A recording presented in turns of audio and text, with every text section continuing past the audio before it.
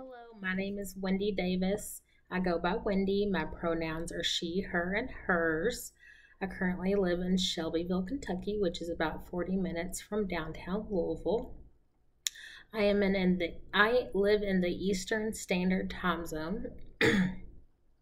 A problem that I am passionate about is healthcare, especially healthcare toward um, immigrants coming into the U.S., especially people that maybe do not have citizenship yet. I feel like healthcare should be for all people, regardless of their inability to pay or regardless of um, if they have medical insurance. And though people usually are treated, even if they don't have medical insurance, um, they usually get a bill, and sometimes that bill um, deters people from coming to get medical help. Um, so that's something that I am very passionate about is learning more about those barriers that people face and how to overcome those barriers.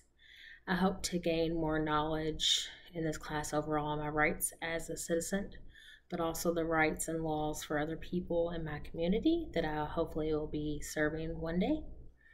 And um, the only other thing about me is that I do work for U of L Health as well.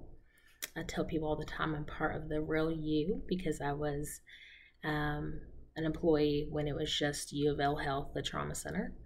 Um, but it is a honor that I get to work for the hospital and the organization as well as be a student at University of Louisville in the Kent School.